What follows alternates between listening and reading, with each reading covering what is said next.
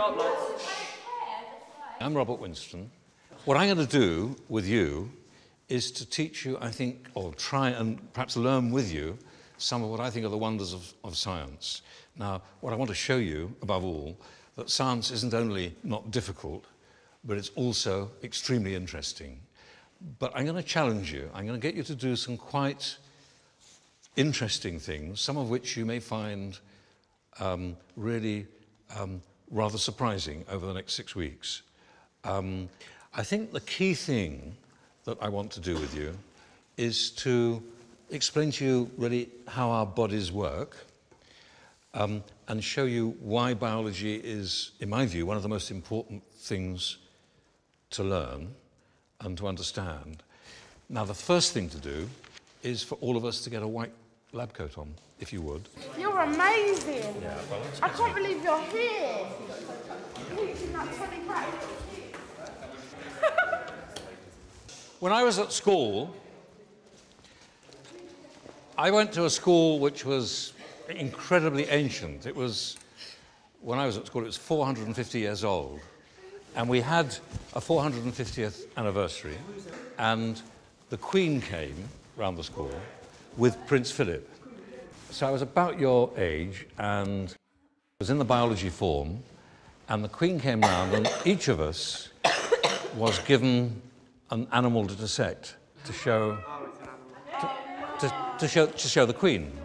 And so the best the best boy in the class had uh, a mouse, uh, and somebody else had a rat, and then somebody else had um, somebody else had um, a dogfish, and somebody else had a frog, somebody had a spider, somebody had uh, somebody had a cockroach, um, and finally the Queen came to me because basically the people who were best at biology were at the top of the form dissecting uh, a rat. I was at the bottom of the form, and I was really annoyed at being given the animal that I had to dissect. So when the Queen came up to me and said, Oh, what is that? I stood up and I said, It's a worm, Your Majesty. And she said, Oh, and she walked on. And for 30 years, that were the only words the Queen ever spoke to me. I mean, I've since spoken to her, but she, all she said was, oh, in disgust. So I'm going to challenge you first. No, I'm not going to give you worms to dissect. Too, too difficult. But, I'm, but, but, Craig, but Craig is going to bring out something for you to look at.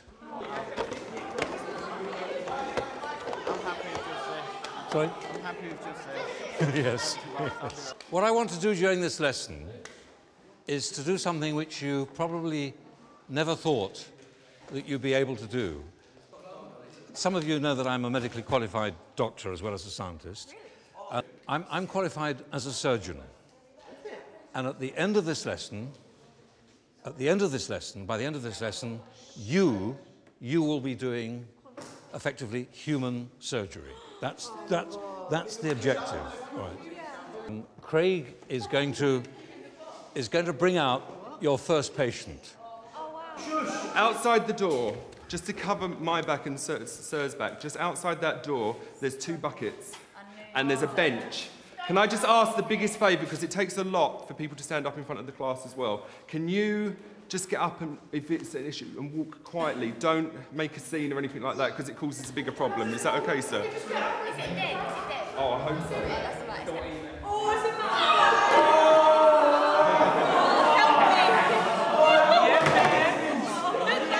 Can I have one? Well, There's one for me.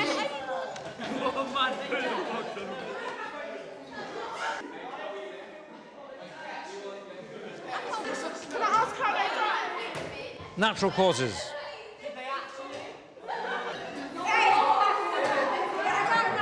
We're going to have a. We're going to look at the rat, and that's the thing that I want you to do. The rest I'm going to do. It's making me sick.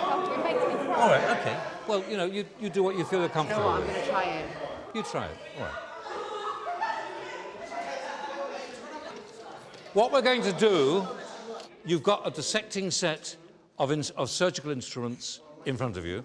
It's the set that I learnt with when I was at school. Some of you will have a, some of you will have a rat that is a bit stiff and curled up. If it is, straighten out the body like that so, so that it's flat, okay? And then take the rat, and you've got a board with pins. All you need to do is, is to pin your rat out onto the cork board in front of you so that it's, so that it's stretched, okay? It's too fat. It needs to run on a treadmill. Don't um, pierce me. Should I pierce it through his arm or something? Not bad. We'll, we'll adjust it a little bit. You've done very well, actually.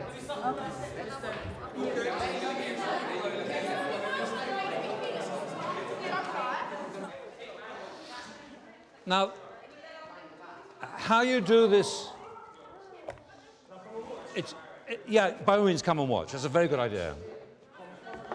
These instruments that I'm using here are um, instruments that we use for very fine surgery on humans.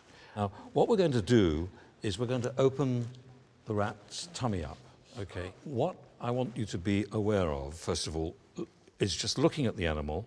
The first thing to notice from the outside is can any of you tell whether this is a male or a female? Female. How do you know? Has he got no, got no bits. Well, in, in a mouse and a rat, it's not like looking at a human. It's very difficult to tell their sex by looking at the genitalia because they're very, very similar.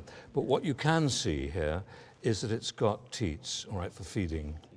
So these nipples, these nipples here would be, although, although the males will have nipples as well, because we have nipples, but they're not as pronounced in, in animals. Do, you- do you remember, these, these, are, the- these are mammals, yeah, okay? We're mammals.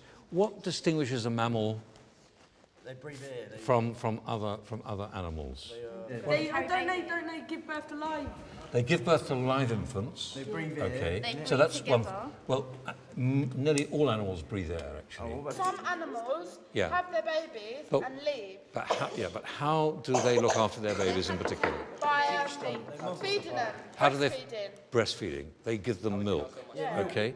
Now, mammals are unique in producing milk for their young, and so these nipples are one of the ways that you can tell the difference to a male and a female. Now, opening the tummy, what you've got to do is to lift the skin very clear, all right, and make certain that you don't puncture the organs underneath. In particular, what we don't want to do is to open the bowel, because then we'll have an unpleasant smell. Ah. All right? If you lift up the skin like that, what I'm going to do is make a little nick in the skin, You're Giving him a tummy tuck. quarter, yeah, sort of. There we are. So now we've got, do you see, I've just got the skin there, and if I put my scissors underneath the skin like that, all right, and then open them up, okay, got the idea? This, now, let me tell you that this is what we do when we're operating on humans. It's exactly the same. You lift up our fur. We, well, clever clogs. All right. So then, once you've lifted up the skin like that, it's very easy to make a straight incision. Oh my god. That's right. It's only their. That's cool, man. Now, can you? There's, there's one structure here that every surgeon likes to see, and it's this white line that goes down the centre, which we have in our. If we stripped off our skin, we would see this white line in our abdomen too. It's called the midline. Okay, that white line, and that's Everyone has that. That's your dotted line down which we're going to cut. About two months ago, I did this with a class of biology teachers, and you're doing better than they did, all right? Yeah, you're doing fantastically well. Really great to see how well you're doing. You've got the, you know, we'll make surgeons out of you. Now, the key structure that we've identified, I think you've all seen it on your rat, is the white line, the midline, okay? We're going to incise just the white line. We're going to go through the abdominal muscle and a thin membrane, which we all have, which is protected, protective, and it's called, does anybody know? What one? What did you say? Has anybody heard of peritonitis? No? Who's, Appendicitis. who's had appendicitis? here? Appendicitis, no. Who's had your appendix out? Oh, yeah, yeah. My mum's, Well- my mum's appendix burst. I think. Well- nearly burst. The lining, the lining of the, of the inside of the tummy, of the abdomen, is called peritoneum, okay? And we're going to cut through that. And it's a very, very thin membrane, which we only want to cut with the muscle, just that and the muscle. So you're going to stick your scissors in to the white line. Notice I've made an incision which has not damaged the structures underneath, so you want to be really delicate and careful, all right? now, that, that is the most crucial thing we're going to do today. All I want you to do is to make that incision. Notice that what I've done is to be extremely careful not to damage the bowel. Hey, let me, let me just ask you. Um, let's just do some pointing. Tell me where your liver is. There. How many livers have you got? One. One. One. Two livers. One liver. Is it essential? Is it essential for life? The liver is absolutely essential for life. All right. You cannot live without your liver. Sieve sort of thing. It, it's a cleaner. Yeah, it cleans your blood. It does a whole range of functions, which we'll talk about later on. Now, the liver is not in your back and your sides or your chest. The liver is the same. That's the point about the mouse and the rat being the human. It's very, very similar to the human. The liver is this structure here. What's that thing? That red thing is the liver, okay? Do you think you can do that for me, okay? Go on, okay, off you go. Now, just remember, pick the abdominal wall up, as that midline, grasp the midline as high as you can. Yeah, of course I will. Now, cut along the dotted line, keeping the points of the scissors up. Sorry, uh, so what am I doing? Am I, um, You're doing terrifically. If you lift that well up, and then lift the points up like that, and cut, right? Go on, you can cut. What just came out? Keep the points well up. Is that all right? That's it. It's really good.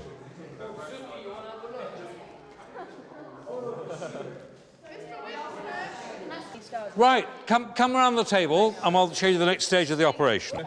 The, the organ that's most impressive and biggest and is this liver, see? That's a liver. That's the liver. Underneath the liver is the stomach, all right? And that stomach will be full. And connecting the stomach to the gullet or the esophagus is underneath the liver. We won't touch, touch that. And then we have the intestines. So here we've got the cecum and the appendix. Like a mini sausage. Yeah. It's like, yeah, but this is, this is the digestive system. Now, All right, with it smells. you girls, how many, how many wombs have you got? One. He said you didn't know. All, all humans, I was in one before. all, all apes have a single uterus.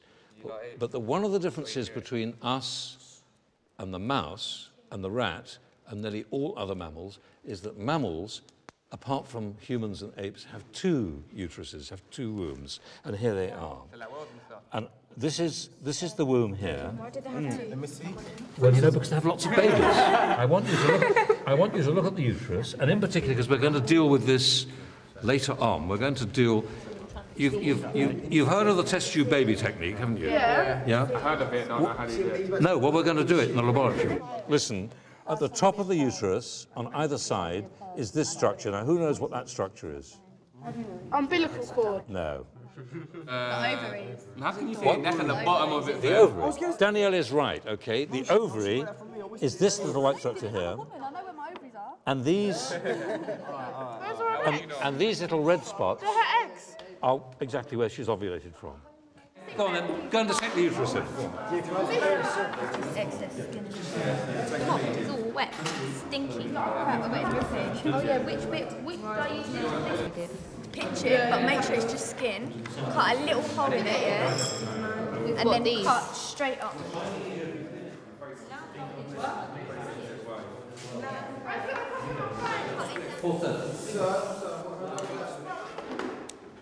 That's it, you've done it. Well done. Now, if you can wash your hands, have a quick break. Yeah. Thanks, sir.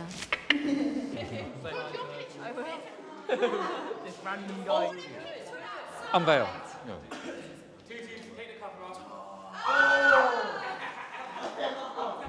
The reason why I was interested in showing you a pig is because the pig is very, very similar to the human inside. But we are going to do some of the dissection to look at the insides to see what, how close it is to a human. Massive baker sandwich. Yeah. Now, here's the midline. Is that the line that we said in the rat? This is just the same as in the rat.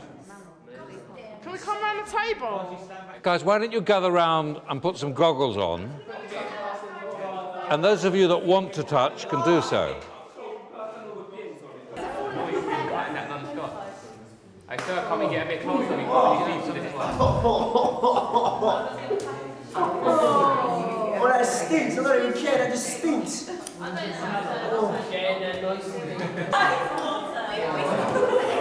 have a look.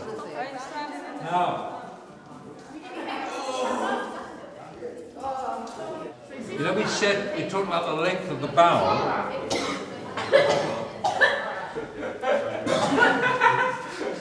Yeah, one this, bro. One this. Get a bit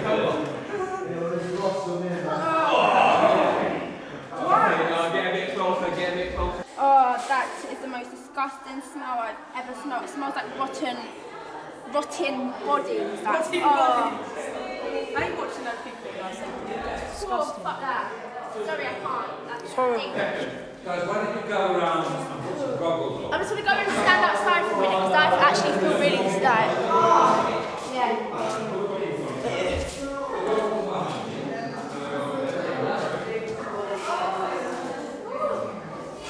Can you still smell it with the tissue up? You It's like, it's not that bad because you can't taste the smell. If you could taste the smell, then that's when you know it's proper rotten. It's not that bad. The thing, the thing to notice about the pig Yeah, it stinks. is how much bowel it's got. Look at those. So, But when pigs eat now, anything, if we just put the bowel to one side, what structure do you think that is? No, it's the bladder. The heart. Right, it's the bladder. And here is the uterus. we the organs and the intestines. Hij is gewoon, uh, je hebt een landing there.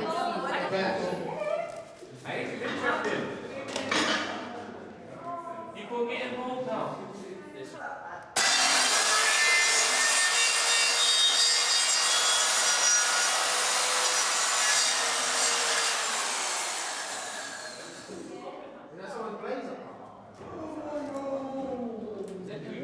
Smell is actually unbelievable. I really can't believe it.